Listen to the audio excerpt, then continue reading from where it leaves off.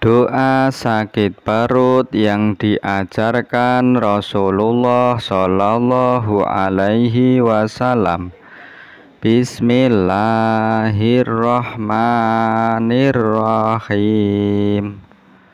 A'udzu billahi wa qudratihi min syarri ma ajidu wa uhadir.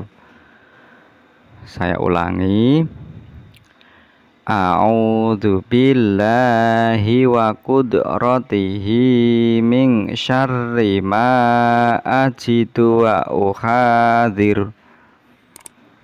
Artinya, aku berlindung kepada Allah dan kekuasaannya dari keburukan yang sedang aku rasakan dan yang aku khawatirkan.